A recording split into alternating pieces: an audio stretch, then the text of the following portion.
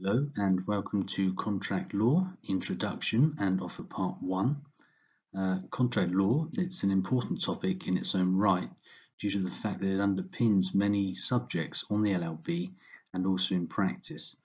A uh, starting point is to explore the basic concept of what a contract is and then introduce the formation of a contract. Offer and acceptance together are called agreement but our starting point in introducing contract law is to focus on the principles of offer and invitation to treat. If we asked a layperson, a non-lawyer, or a non-law student what a contract is, then that person would most likely say that it is an agreement between two or more people. This is not adequate, though, for our purposes. We need something more than this. As with all topics in law, we should go to the source material Source material for the purposes of studying law are legislation, case law, and or academics. When going to source for a definition of contract, we can do no better than referring to Professor Treitel.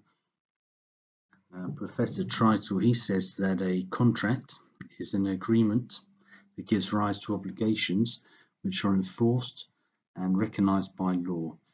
He says that the factor that distinguishes contractual from other legal obligations, for example, in tort, are that they are based on the agreement of the contracting parties.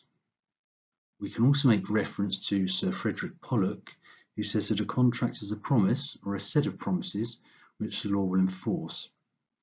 And Sir William Ansons, he has a uh, definition himself, which is that the law of contract may be provisionally described as that branch of the law which determines the circumstances in which a promise shall be legally binding on the person making it. It can be seen from these uh, three great minds of contract law that not all agreements will be an agreement that is enforceable in law.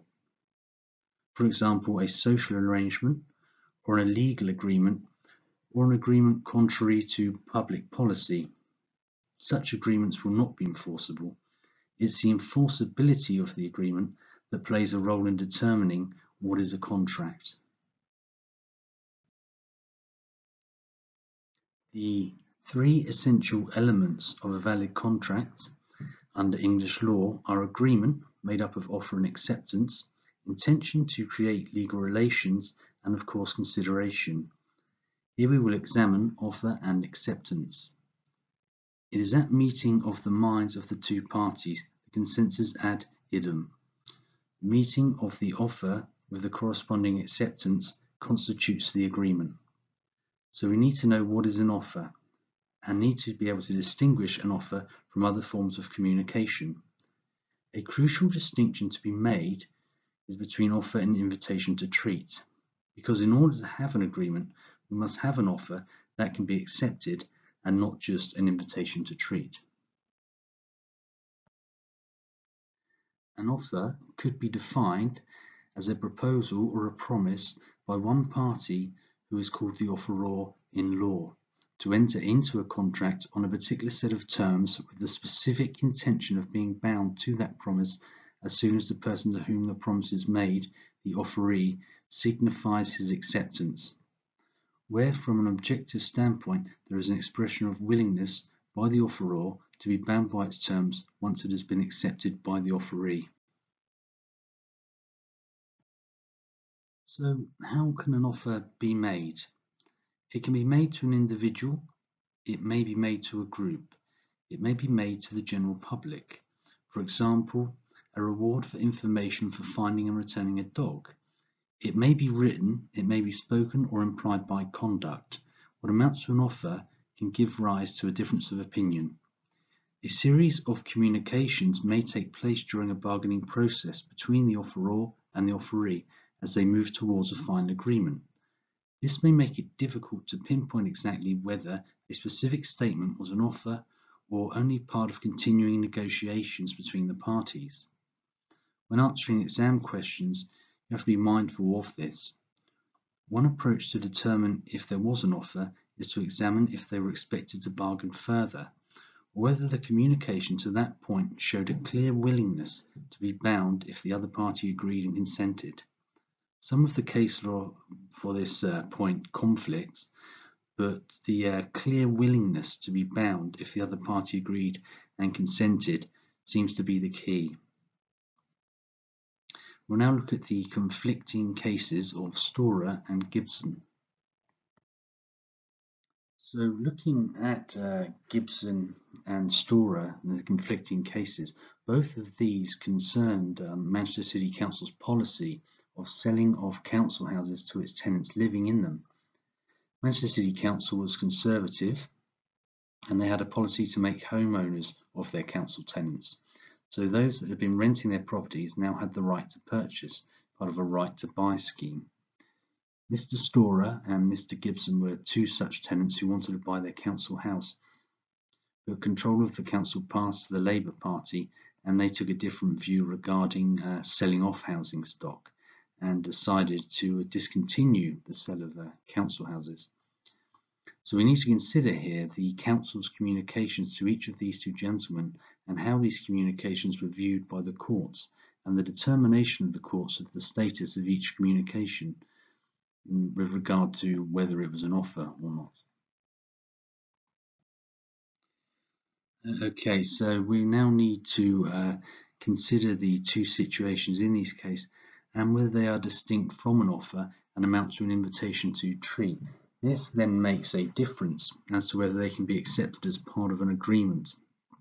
In Storer, uh, it was Mr. Storer who received a letter from the council representative, and there it said that I understand that you wish to purchase your council house, and so we enclose the agreement for sale.